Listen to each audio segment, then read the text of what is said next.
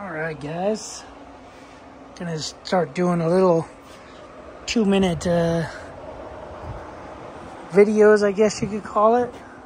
Maybe three minutes and posting them. So basically, what do we got on the Traeger? What's gonna be called? What's on the Traeger? So we got it at 275 degrees using a meter, Meater Plus thermometer, using um, Traeger Pro Blend, Pro Blend pellets, I might need to add them. This is an eight hour, possibly nine hour smoke. This is a bone-in pulled the pork butt.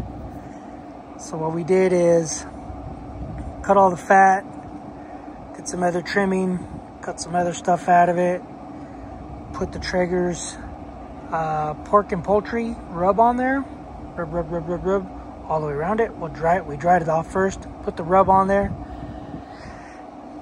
rub, rub. Um, let it sit for about 15, 20 minutes, just on the counter. And then we set this to 275 degrees. and said let it sit, going off the Traeger app. Let it sit for, I don't remember, 15, 20 minutes until it preheated. Then threw it on the grill. And uh, yeah, so this is what we got. I'm just gonna open it real quick. Uh, it's been I want to say it's been three hours, 15 minutes. And uh, this is what we got. Looking good, looking good. Okay, I'll shut it. it says to uh, mist it with um, grape juice? Not grape juice. Uh, uh, dang, apple juice. So, wife is uh, on a keto diet. So we have to improvise, even though uh, the rub has sugar in it. We have to improvise, and uh, we're using. Uh, I can't remember the stupid soda drink. Stevia? Oh, let me go. We'll go to the where the cans are. We'll find a can. Zevia. We are using Zevia zero calorie grape grape drink, and I that's what I'm misting it with.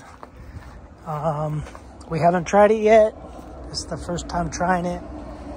About every hour, misting it with this. Basically, all I did was pour the soda in a bottle and made a little slit in there, and that's what we're doing to caramelize it. So, yeah, it's going to be a pulled pork at uh, hour five. We're going to pull it off, put it in uh, barbecue butcher paper, um, and then stick it back in for another three hours, I believe, um, or until the temperature hits 203 degrees internal temperature. So, yep, that is my daily what's in the Traeger. Alright guys, subscribe, comment, do what you guys do.